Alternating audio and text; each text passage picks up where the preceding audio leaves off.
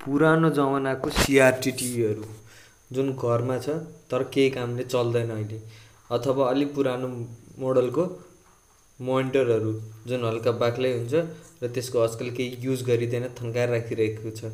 तिनीहरूलाई चलाउनलाई हामीसित केही उपाय नभएर बसिरहेको जस्तो भन्छौँ अथवा अर्कै खालको पुरानो जुनसुकै कम्पनीको नचलाएर राखेको सानो सानो चौध पन्ध्र इन्चकै यत्रो यत्रो सानै हुन्छ नि बिस बाइस एक्काइस इन्चकै सानो सानो टिभीहरू चलाउनलाई चाहिँ अहिले चाहिँ सजिलो उपाय आएको रहेछ।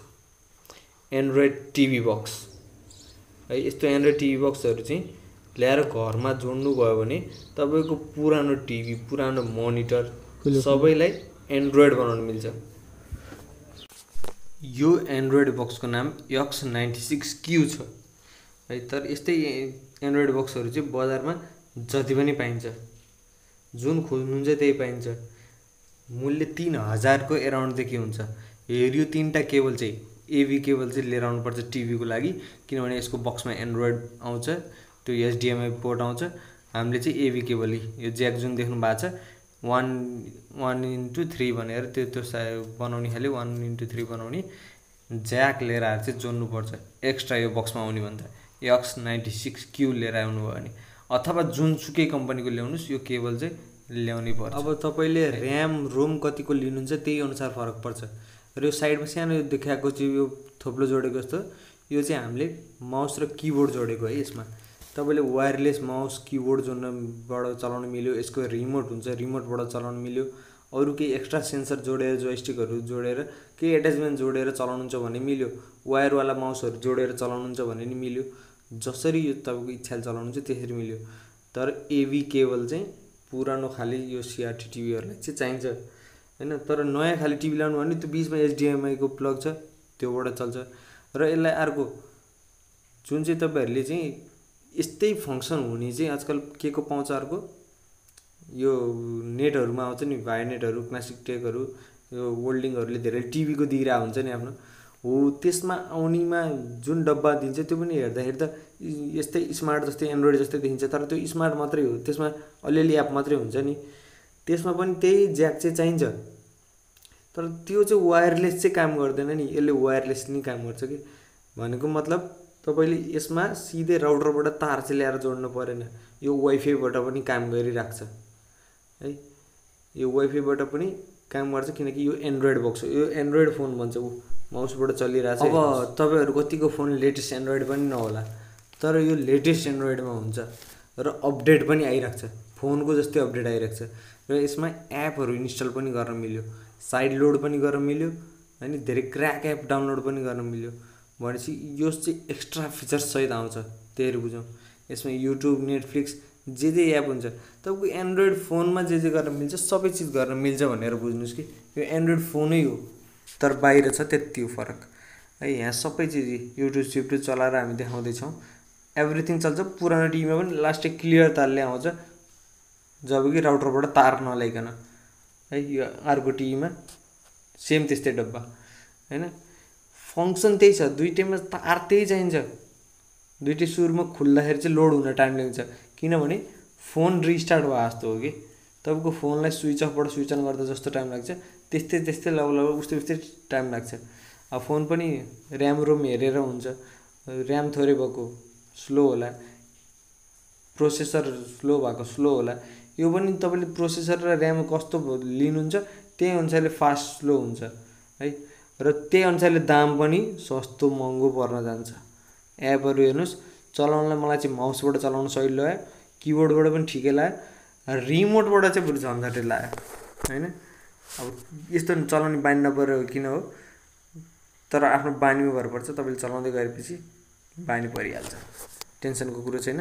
अब एपहरू हेरिहाल्नुहोस्। यहाँ एप थरी थरी।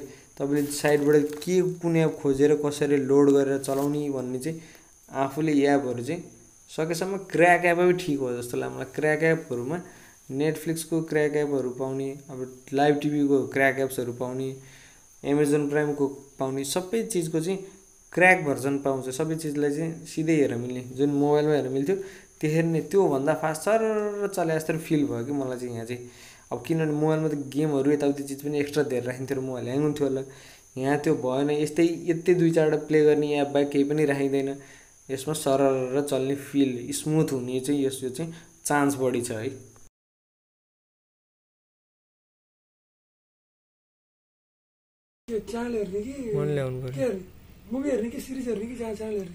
जे लगायो नि अब सिरिज सिरिजतिर क्लिक गरेर त अँ, सबै चल्ने खाले यस्तो एपहरू नै सरर पाइँदो रहेछ लोकी। लोकी। यहाँ चाहिँ अहिले तल। होइन यो सनफ्लावर हेर्दै थिएँ यो त मैले भ्याएँ क्या सनफ्लावर त। कुन ब्रेथ हेरे लोकी अँ हेरे अँ हौ। अँ एपिसोड सिक्स सिक्स यस्तो सैलरी हेर्न पाइँदो रहेछ। ल्यापटप चाहिँ सेम सेम ल्यापटप हेर्ने। ल। सिधै लोड पनि भइदियो यार। बट म त खतरा मन पऱ्यो। सयामत और हमारे बीच ये समय लग सकती है जो धार बनकर खड़े हैं। सबै शाश्वत है हमेशा पुरानो टिभीमा यसरी नि- हेर्न मिल्ने भनेपछि त यो चिज यसमा अरू एक्स्ट्रा गर्न मिल्ने भनेको मेमोरी कार्ड हुन्छ पेन ड्राइभ जोड्न मिल्छ तपाईँको एचडिएमआई केबल सपोर्ट गर्छ योबाट तपाईँले सिधै उसमा मोनिटरहरूमा जोडे नि भयो। रेकर्ड गर्न मिल्यो पज गर्न मिल्यो प्ले गर्न मिल्यो एनिथिङ के जस्ट मोबाइलै भयो सम्झिनुहोस्। होइन स्पिकरहरू कनेक्ट गरेर साउन्ड त्यस्तै आउने भयो। सबै चिज जोडेर मलाई चाहिँ यो चिज धेरै मन पऱ्यो अब यही ब्रान्डकै लिनुपर्छ भन्ने छैन यो चाइनिज हो। अब ग्यारेन्टी वारेन्टी म भन्न सक्दिनँ। अब यो टिभीको रिमोट चाहिँ किन चलाइरहेको छु यसको रिमोट र टिभी यसको रिमोटमा पनि अब टिभीको रिमोटलाई चलाउनु नपर्ने मेन मेन एबीमा लानुपर्छ नि त। त्यो लान नपर्ने उ त्यो मास्टर बटमहरू हुन्छ चार पाँचवटा। यसकै रिमोटबाट पनि टिभीलाई पनि कन्ट्रोल गर्न सक्नुहुन्छ। दुइटै रिमोट चाहिन्छ भन्ने छैन। यसको रिमोटबाट पनि टिभीको रिमोट काम गर्छ। त्यो गराउनलाई जान्नुपर्छ गर्छ। त्यो गरेपछि सहिलो हुन्छ।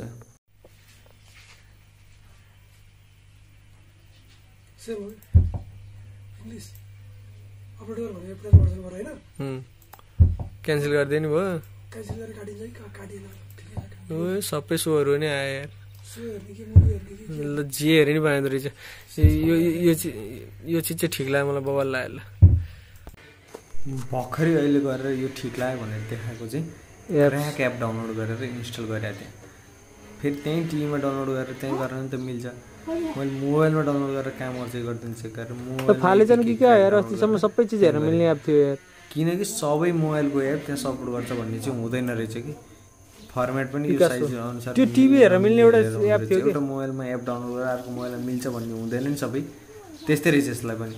सबै मोबाइलमा डाउनलोड भएको त्यहाँ चल्दैन तर ninety five ninety eight percent जस्तो चाहिँ चल्छ। सबै जस्तो चल्छ। लभ लभ सबै चल्छ। कुनै अक्कल झुक्कल नचल्ने हो। र त्यसपछि नै हामीले जतिवटा जे गरेर नि लाइभ टिभी हेर्ने हो कि लाइभ के गर्ने हो कि है यहाँ एपहरू मैले देखाइहालेँ। के के हालेछौँ त यहाँ नेट टिभी छ पिला सो छ स्पोर्ट्स स्पोर्ट्स लाइभ छ। यो स्पोर्ट्सहरूको धेरै छ। यो टिभीमा चाहिँ अनि अघि देखाएको अर्को टिभीमा चाहिँ टिभी सोजहरू सिरिजहरू चाहिँ हेर्ने बढी छ। आफूले के एप डाउनलोड हुन्छ आफ्नो चोइसले सबै एप डाउनलोड गरेर मिल्यो। त्यो मोबाइलमा पनि सबै चाहिँ हन्ड्रेड पर्सेन्ट सपोर्ट गर्छ ग्यारेन्टी चाहिँ हुँदैन म्याक्सिमम् गर्छ। अँ गर्छ म्याक्सिमम गर्छ। अँ, एपहरू पनि हेरेर हुँदो रहेछ है। अब यो पुरानो कहिलेको भिडियोकन टिभीमा चलिरहेछ यसको तार जोड्ने नै पछाडि छ। म अहिले त तार जोड्ने पनि देखाउँछु है त। यस्तो भएको ठाउँमा जोड्न मिल्छ यस्तो पछाडि। है? यति पुरानोमा पनि ल्याएर जोड्न मिलिरहेछ।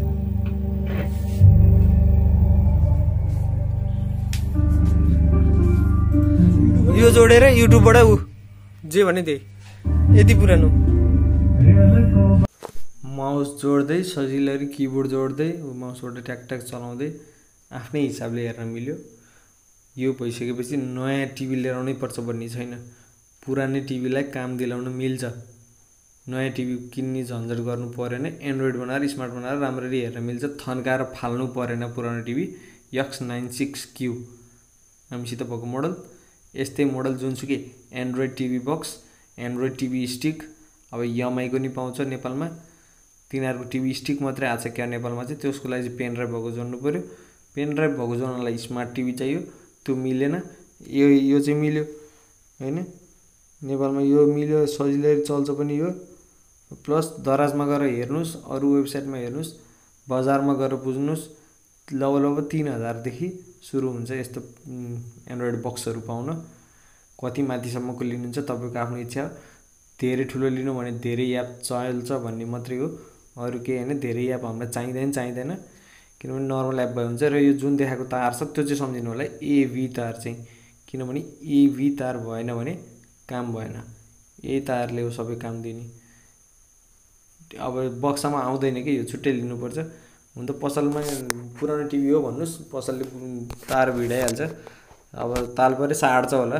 एचडिएमआई केबल र यो केबल साटिदिन्छ होला। साटिदिए नि हामीलाई हुन्छ फरक पर्दैन। केबल हेर्नुहोस् यसको।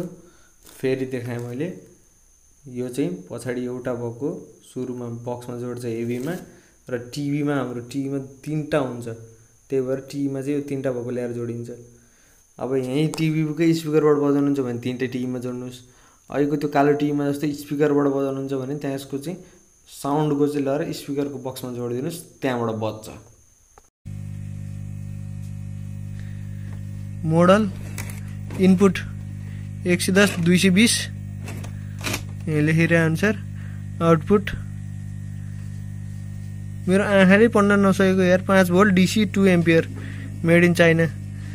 ल यो चिज पनि बवाल लाग्यो। एक्स नाइन सिक्स क्यू जोड्यो।